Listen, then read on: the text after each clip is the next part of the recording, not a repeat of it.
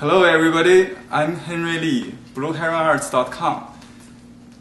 Now I'd like to talk about how to handle um, Chinese uh, silk hanging scrolls.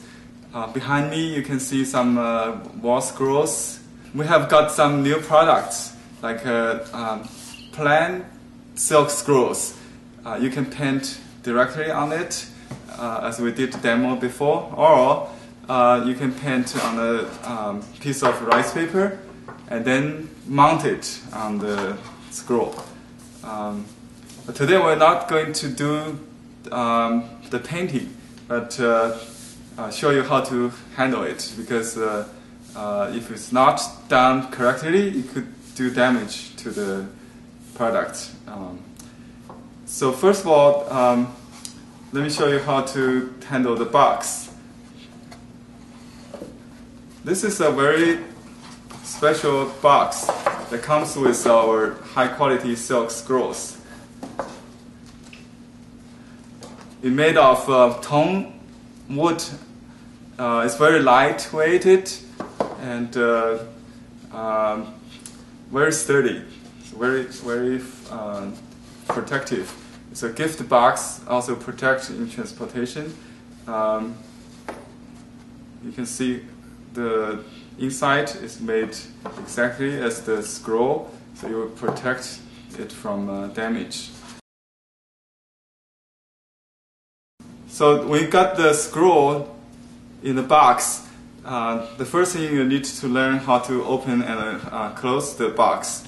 To open the box, hold the bottom with your left hand and your right hand, lift it, and then push to the other side and then lift it. Okay. too close, um, because this is uh, very um, accurate made, so uh, not very easy if you just close you know from top. Um, so you need to do this. First of all, uh, you match one side, the long side like that, and then hold, hold the box like this, and with your thumb, thumbs uh, in the middle of the box, and push a little bit, just like that. Okay, if you don't do this, it will be very difficult to match. So when you push the, the middle of the box, it uh, creates some uh, space see, it's very, very tight. Uh, you, you, cannot just push down like that. You need to push with your thumb inside, and then down with your your uh, other fingers. Next, we're going to show you how to handle the wall hanging scrolls. First of all, let me show you how to uh, take the painting down. So you don't you you don't go up and take the scroll down and then try to roll it. That's the wrong way. So you need to do this first. Hold the the uh, scroll knobs. Hold the two knobs. Not touch the middle part of the painting. Don't do this. Hold this and uh, just roll it. Roll it like that. Okay and up, up, go up. Gradually.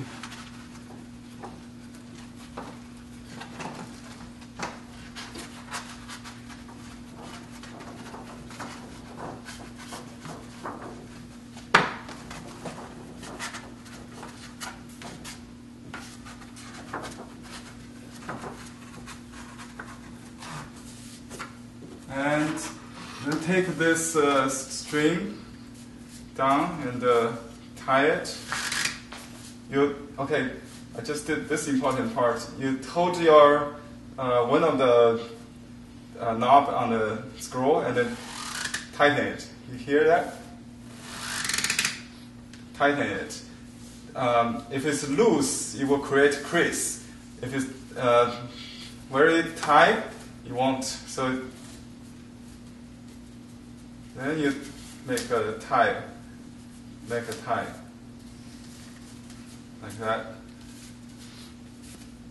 Next, I'm going to show you how to hang it.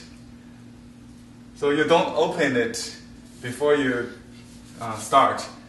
Um, so you make a, a, a, nail or a hook on the nail a hook on the wall first, and then untie the scroll. I think uh, this is too wide for this space, so I'm going to use this one instead. Show you. Okay, then hand the um, hanger, the string, hanging string on the uh, hook, and then hold the knobs. Again, don't try to um, touch the middle of the painting. This is a plain scroll And now you can see the, the size, the size of it. Um, you can visit our website for specific dimension and uh, uh, size information. We have different uh, color of uh, silk available. Uh, check our website for details. And uh, as I mentioned earlier, it all comes with this very nice uh, tung wood box.